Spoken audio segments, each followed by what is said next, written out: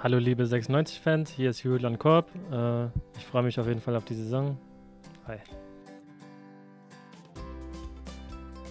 Äh, vor dem Spiel ähm, stretche ich mich ein bisschen, höre ein bisschen Musik und ja, bereite mich so aufs Spiel vor.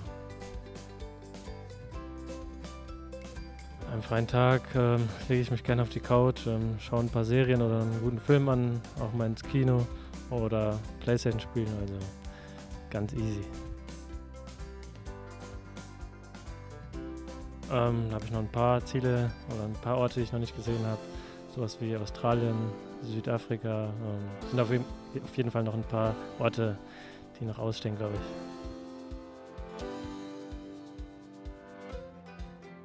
Ähm, das ist natürlich eine einfache Frage. Alles, was zu Hause bei Mama auf den Tisch kommt, äh, wird natürlich sehr, sehr gerne gegessen. Von daher eine sehr einfache Frage.